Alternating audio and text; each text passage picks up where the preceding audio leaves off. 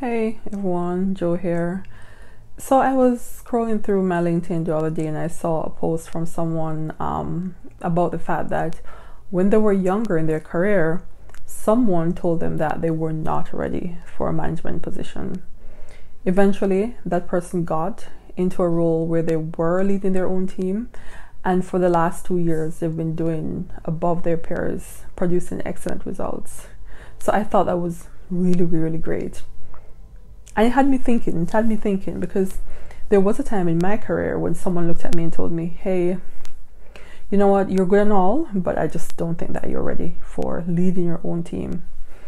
And um, I, I looked at it, I, I went home and I thought about it, and I said, well, I think I'm ready. Um, the team seems to be ready. Um, I think I have a lot to offer, right? And I, I didn't think it was the right decision that the person made at that time. What I then went on to do was to form a group within the company, a woman in tech group.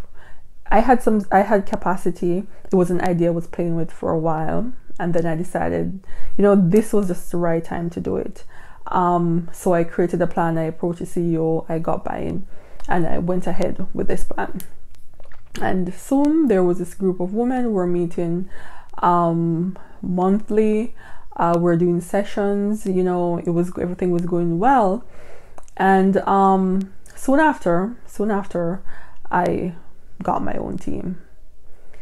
And you know what that what thinking about that thinking about that experience it, it got me thinking that truly there are people who will give you that opportunity based on your potential but there are people who will give you that opportunity based on your action I think you can't fault people either way, right?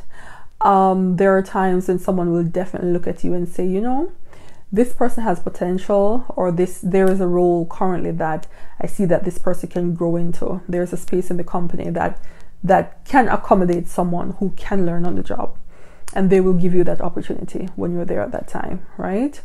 Um, as well, there are people who want to see that you have some action, you've taken some action towards showing that you're ready for that role. It could mean mean um, it could mean creating your own group. It could mean um, you know finding gaps that they didn't know were, was there. It could mean find leading a sub team. You know whatever it is. And once they see that, once they see that action, then they're willing to take a chance on you at that point, right? So so for me, it's action. It's action versus potential for the person who you're looking to or the person who is is the gatekeeper of that role that you want maybe it's time to meet with that person think will they give you a chance based on potential or do they need action?